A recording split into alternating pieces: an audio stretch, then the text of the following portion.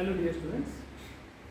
Uh, in last lecture we have discussed about the what are the important aspect regarding what are the need for determining the bacteriological quality of drinking water. So in this regard we have uh, discussed the basic concept behind what are the need to determine uh, bacteriological indicative organism which are present in the drinking water. So in this lecture we will discuss about the bacteriological indicator of excretal pollution and what are the basic characteristics of organism on that basis that organism are considered to be the indicative organism of fecal contamination. So uh, basically these organisms are nothing but the coliform organisms normally which are present in the intestine and that's why they are found in the fecal matter or feces of human or animal origin.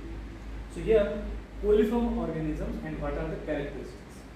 The coliform organisms which are found or they are oculi in shape or spherical in shape, coliform or which are present in the colon. So that's why they are coliform organism includes they all are aerobic organisms. That means they require oxygen for their growth. Facultatively anaerobic that means in presence or in absence of air they can survive. They are gram negative means after staining for gram stain they appear pink under the microscope. Non-sporing that means they are non-spore former. Motile and non-motile rods. Okay. So these are the basic characteristics of coliform group of organisms. They are either motile or sometimes non-motile or slowly motile. You can say rod shape but they are short rods. Lactose fermenting. Uh, lactose is nothing but a sugar.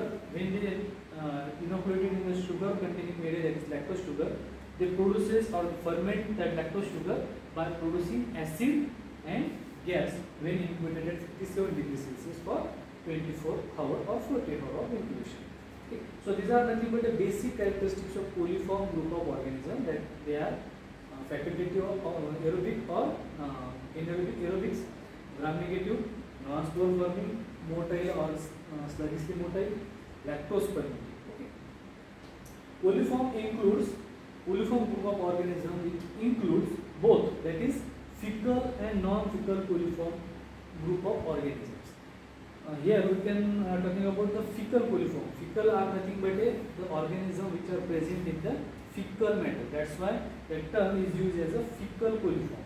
But in case of non-fecal coliform, they are present in the soil or they are not originated from the fecal matter. So that's why the, this group of are uh, distinguished from one another. That's why fecal and non-fecal coliform group we have to discuss. Fecal coliform group it includes only one organism that is Escherichia coli and that's why it considered as the indicative organism of fecal contamination of drinking water. Whereas non-fecal group of organism it includes Enterobacter aerogenes, Klebsiella pneumoniae and Citrobacter. Apart from E. coli, these are again a coliform organisms but they are considered to be a non-fecal coliform as they may be present in the soil or sometimes they are not from the uh, fecal contamination. So here on the basis of basic characteristics these organisms are grouped into fecal coliform and non-fecal coliform. Laboratory examination of water for pathogens is difficult as that's why a technique was developed for the demonstration of bacterial species of known excretal origin, particularly coliform groups. For each pathogenic organism, their bacteriological analysis is quite difficult. Each requires different types of media and their incubation time may vary depending upon the species. So it is quite difficult. That's why indicative organism uh, we can use to determine the bacteriological quality of drinking water. The technique was proved satisfactory and that's why coliform are called as the indicator organisms. On the basis of difficulty to carry out different experiment or uh, isolate and to characterize the pathogenic, pathogenic organisms which are present in the water, it is quite difficult. So on the basis of that, um, one technique which is can be easily and which provide a result after 24 or 48 hour of incubation and it is quite satisfactory. That means uh, amount minimum requirement we can define whether that water is uh, infected or contaminated with the uh, fecal contamination and whether the water quality is uh, useful for the uh, drinking purpose or non-potable type of water. So in this regard, uh, these organism are considered to be the indicative organism of human or fecal contamination. So here we have to discuss about the why this coliform group of organisms are considered as the indicative organisms. What are the characteristics or their beneficial characteristics? Uh, are constantly present in great abundance in human intestine and also in the excreta. Here, the main point or main characteristics of fecocoliform is that these organisms are abundantly present in the intestine and as they are present in the intestine, they are normally present in the excreta in, from human origin. So it is a basic characteristics uh, why we use that organism as an indicative of fecal contamination. They can be easily detected by cultural method as compared to pathogenic organisms as they are normally grow on simple media and they can be easily culturable easily grow on a simple nutrient or basic media on laboratory and that's why no further specified media is required for the growth of that organism. That's why they made in, uh, our procedure quite easy. So that's why these are the uh, characteristics. That's why we have selected that organism. They survive for longer time than pathogenic organism. Uh, as well, uh, previous lecture we have discussed already. Pathogenic organism required basic, specific type of media for culture uh, for their growth as well as they can't survive for longer time in the wastewater or the drinking water. So, in other hand, this coliform group of organism can survive for longer time in the water. That's why it is another point uh, so that they are selected. Coliform are resistant to forces of natural purification than waterborne pathogens. They are again another point uh, uh, property of that organism that they are resistant to natural purification process which are normally carried out in the environment so that they, these organisms can be survive for longer time than drinking water as compared to the pathogen which we have not taken as an indicative organisms.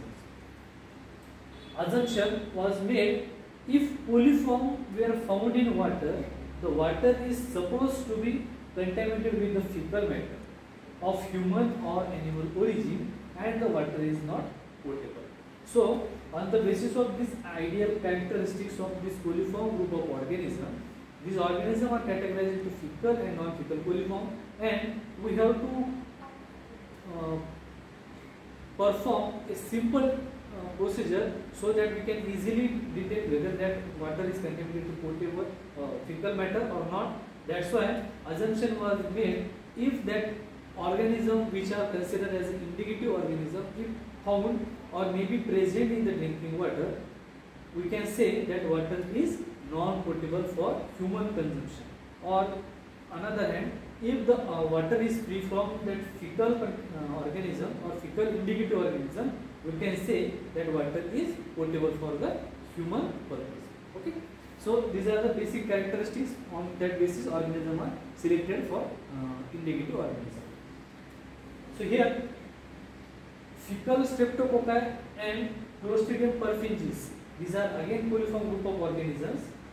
Fecal streptococci that is Streptococcus faecalis also regularly occur in feces like coliform but they are found in much smaller in number than E. coli. Apart from E. coli, uh, it is nothing but a group of organisms that is coliform so apart from uh, E. coli, Streptococcus faecalis can be present in the feces or uh, fecal excreta, but they are found in a much smaller quantity as compared to E. coli. That's why it is avoided or it is not considered as an indicative organism.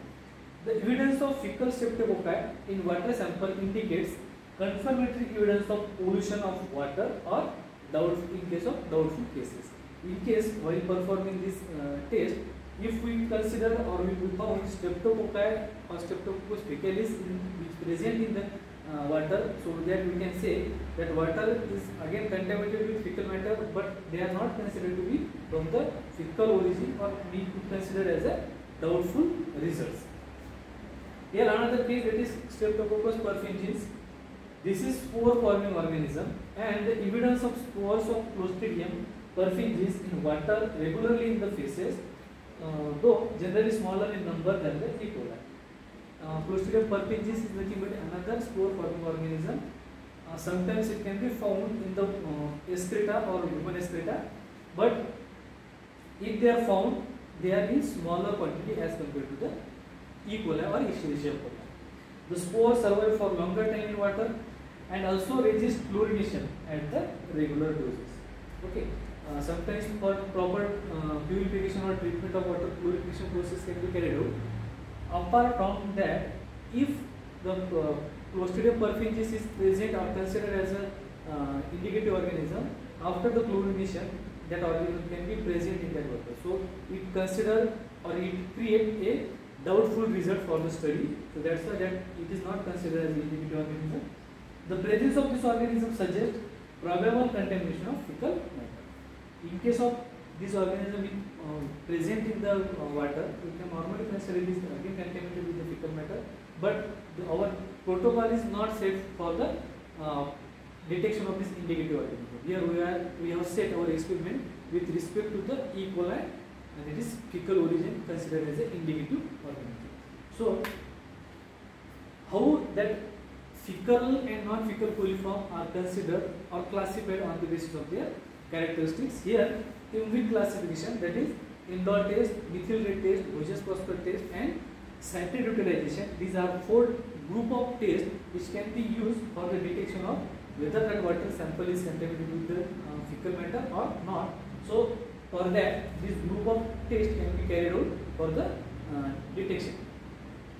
Coliform are differentiated into fecal and non-fecal coliform by performing combination of IMVIC tests uh, combinedly we call as the IMVIC test. Here I is silent, so I stand for indole, M for methyl red, V for Voges cluster, and C for citrate utilization. So it is nothing but combination of group, and normally these tests are used for the detection of intestinal microflora. So here the four tests are followed to carry out the classification of this fecal and non-fecal coliform. So firstly, indole test. Here, in this case, this test is based on the protein utilization and comes under the category of fermentation of protein. So in this uh, indole test, we have to detect whether uh, fermentation process of is uh, fermentation of protein is carried out or not. Here we have to detect by means of different indicative organisms. So here protein utilization it is a basic or base of this test and in this process, fermentation of protein is carried out by that experimental organism. So we can normally say proteins are nothing but uh, composed of the amino acids. So by taking their uh, consideration, it forms one of the four tests that is unique, widely used in indication of, oh, sorry, uh, identification of the coliform group of organisms. So uh, the test can be performed in any protein containing medium for detection of whether organism is capable of fermentation of protein or utilize that protein which is present in the media so that we have to provide a amino acid or protein containing media so that's why for performing the indole, indole test we use peptone broth as liquid uh, media for the growth of that organism because all protein contain tryptophan as an amino acid tryptophan is the uh, amino acid which is uh, uh, it is a group of uh, amino acid 20 out of that tryptophan is nothing but amino acid and it is present in the peptone uh, we can normally say peptone water or peptone broth media a parent compound from which indole is produced here we have to performing a test for indole acid production or indole test so that indole is produced by the utilization of tryptophan by by this organism so that's why tryptophan is used which contain tryptone as a substrate for that uh, media. However, the use of tryptone is recommended instead of the protein because it contains higher amount of tryptophan. Sometimes on the case of that tryptone broth, tryptone or tryptophan uh, broth uh, can be used on the place of tryptone broth as uh, the tryptone it contains more amount of uh, tryptophan. Okay. It is also whether you use tryptone broth or tryptone broth, one of the uh, taste same. Similarly, you can carry it. It is also advisable to use non-carbohydrate protein medium so as to avoid protein sparing intake. So one care should be taken. Here we have to avoid carbohydrate or protein carbohydrate containing medium. We are only considering the protein uh, utilization test. So that's why to uh, making a confusing result we have to avoid the carbohydrate containing medium. Here we have to use only protein containing substrate for the growth of organism. Here how the indol test is can, can be carried out. The organism or we can say we use that particular sample and it, uh, if that organism which is present in the water sample which we have collected, here we have to inoculate in that particular test it is uh, uh, one method. In another case, how the test can be carried out? If the organism it has the ability or which contain enzyme that is tryptophanase which break down the tryptone uh, or tryptophan enzyme and tryptophanase is nothing but an enzyme are capable of sorry the organism which contain a tryptophanase enzyme are capable to break down the tryptophan amino acid so here if the organism possesses the ability to break the tryptophan that organism gives it in the test positive capable of degrading amino acid that is tryptophan and forming an end product that is indole pyruvic acid and ammonia after the breakdown of tryptone or uh, peptone water, the organism it produces or that organism has ability to produce or it contains tryptophanase enzyme, it break down the peptone and end product of their process is nothing but indole, pyruvic acid and ammonia. And here, whether the indole is produced, we have to detect by using uh, different reagent. It is nothing but a reaction. Here, tryptophan, it is the structure of tryptophan plus water we in the form of peptone water we are nothing but provided tryptone for the growth of organism after incubation if the organism has the ability to tryptophanase enzyme or it produces a tryptophanase enzyme what happen it break that tryptone uh, sorry uh, tryptophan that is amino acid into indole acid plus pyruvate plus ammonia these are the three products of this reaction by means of this organism it has ability to break down that uh, tryptone water or uh, tryptophan amino acid, it forms indole, pyruvate and uh, ammonia. It's an end product of this uh, reaction. Uh, now, how we can detect that indole is produced in that media or not? So that's why we use a indicator uh, reagent to test whether indole is produced or not. So experimental organism was uh, inoculated with broth. It is a procedure. Now uh, to detect whether indole is produced or tryptophanase breakdown or not. Here we have to detect by using Kovacs reagent. It is an indicator which is, can be used to detect whether indole is produced. And Kovacs is nothing but a para-dimethyl aminobenzaldehyde. It is nothing but a uh, compound which are combinedly they call as a Kovacs reagent. Para-dimethyl aminobenzaldehyde plus hydrochloric acid plus amyl alcohol. It is a group of three uh, chemicals and when we add after incubation that Kovacs reagent into the uh, test tube, it forms a red color, uh, cherry color ring at the surface of that medium. What happens? The indole so produced react with the para-dimethyl aminobenzaldehyde in presence of heat to form cherry color ring as shown in the figure. Here, if that organism has a or it produces tryptophanase enzyme, it breaks down the tryptophan amino acid into indole, pyruvate and uh, ammonia. To detect that, we have to add few drops of Kovacs reagent that is nothing but a para-dimethyl aminobenzaldehyde plus hydrochloric acid plus amyl alcohol. Here we have to add some drop of uh, that Kovacs reagent into the tube. What happens if there is a indole is produced in that uh, media or that organism produces indole, what happens? The Kovacs reagent it react with the indole and it forms a cherry color ring at the surface of that broth.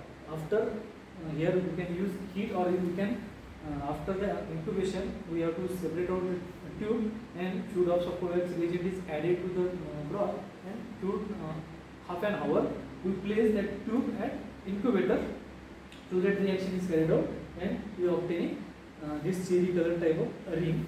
If this ring is uh, observed or appear, we can say that organism is producing a indole acid in presence of tryptophanase enzyme. In another side, in addition of Kovacs reagent, there is no formation of cherry colored ring. We can say that organism is unable to uh, utilize that tryptophan amino acid and unable to produce indole or uh, in that media indole is not So, uh, in this way, whether that organism is able to utilize uh, protein or amino acid, we have to detect. It is a first step which is used in the uh, determining the fecal or non-fecal uh, contamination of organism or fecal or non-fecal coliform group of organism. So it is a indole. Other test we will be discussing next week.